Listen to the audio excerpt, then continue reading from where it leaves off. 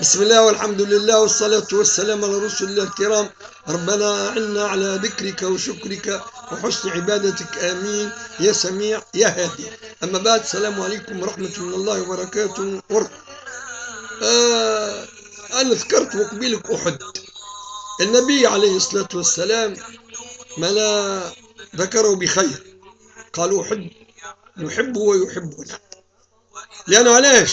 أحد كان هو حلبة ملا دارت فيها راح الحرب بين الحق الذي يقوده نبينا عليه السلام بفضل الرحمن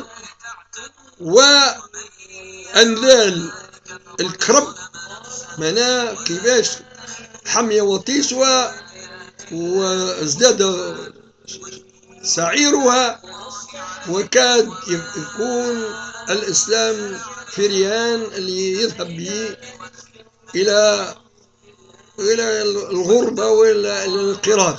لكن المولى سبحانه وتعالى جعل تلك